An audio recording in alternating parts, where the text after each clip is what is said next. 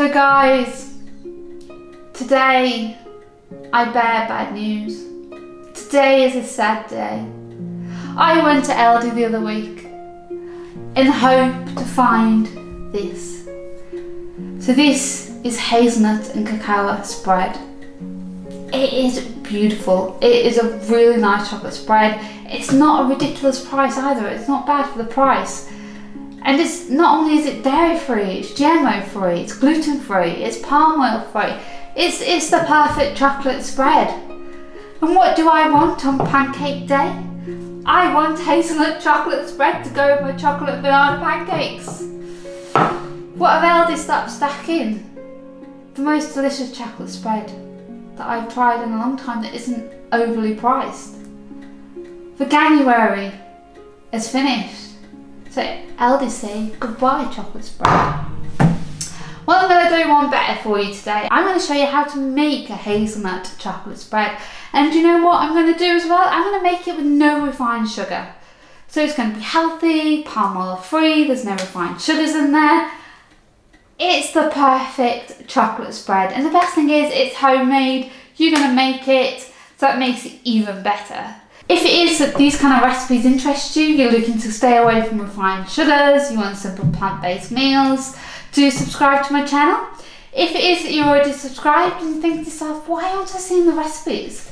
There's new recipes here, I'm not being notified. Are you clicking that bell? That bell is what will tell you that I've got a recipe released.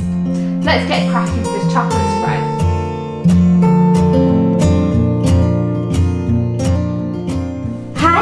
Hi, I am Emma with Really Simple Recipes and today I'm going to show you how to make a hazelnut chocolate spread free from refined sugar.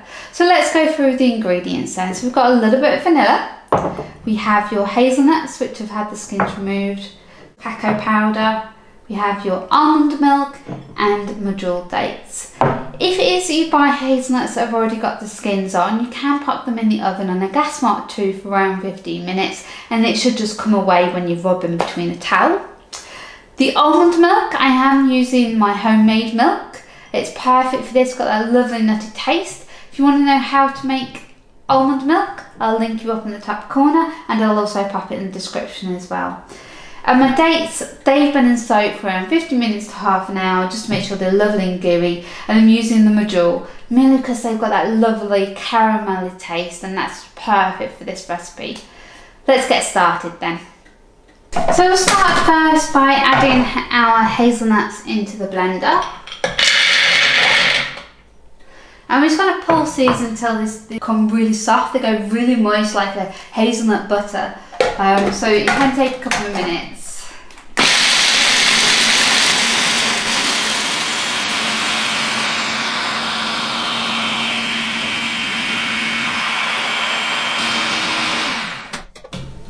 Okay, so that's the consistency that you're looking for. So you can see there it's gone very like buttery. Um, so that's perfect for this. That's uh, It's taken me about two or three minutes to blend that, so just make sure that you are giving it a good blend. So when adding your dates, it's always best a couple at a time because it can really work your blender. This thing is brilliant. Um, I don't know if you can see it. Oh, it's this side. There's a crack in the jug as well. But this can get through anything. I'm, I'm absolutely amazed at how good it is because it wasn't an expensive blender. Um, but this works really, really well. So let's start adding these dates in.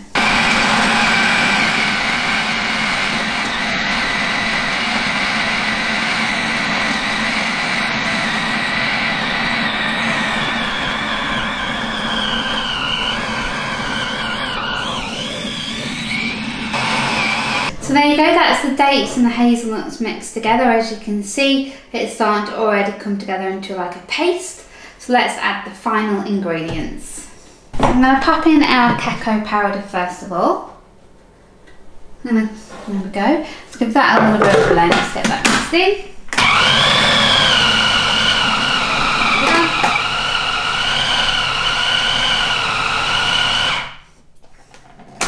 With regards to your milk, it's totally up to you how much you use. You can use how much I advise, you can use a little bit more for more of a runny chocolate spread or you can use a little bit less, it's totally up to you. But what I'm going to do, I'm going to add in half of it first just see what the consistency is like and then I'll add a bit more in after giving it a good blend.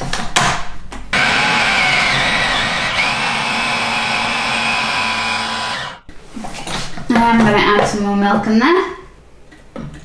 The rest of it in there. I'm going to grab my vanilla as well. Give that a bit of a grind in there.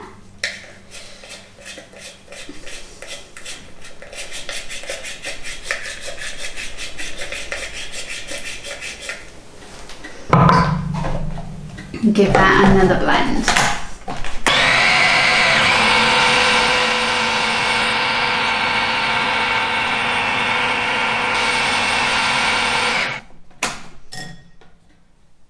Okay, so it's chocolate spread so far. I am just going to give it a little bit longer. Just need another good blend. But you can see already how much of a chocolate spread that is looking. And just need to make sure that we get all those edges, all the bottom unstuck because as you know with these blenders it can stick under the blade. So I'm going to give that a couple more minutes and then it should be done. It's as simple as that, hazelnut chocolate spread. This is really easy to make today and it's going to last in the fridge for around a week to 10 days. So it's perfect to make it now, ready for your pancakes on pancake day next Tuesday. If it is that you want to know how to make some vegan friendly pancakes or eggless pancakes, I'll link you up in the top corner, also in the description of a recipe that I use. They are the nicest pancakes I've ever had. I've had people tell me that they're nicer than the pancakes made with egg. Go over and check that out. This one has been a lovely quick recipe for you today. It's really, really easy to do. And if it is these kind of recipes of what you're into, you're looking for easiness, you're looking for no refined sugar, you're looking for healthy, simple, plant-based recipes, do subscribe to the channel. And if it is that you're subscribed, make sure you're clicking that bell as well. That way you'll get notified every time that I release a new recipe. If this is one that you've enjoyed today, do give me a like. And if you have any questions, comments, anything at all, pop that below and I will get back to you on them. Thank you for watching.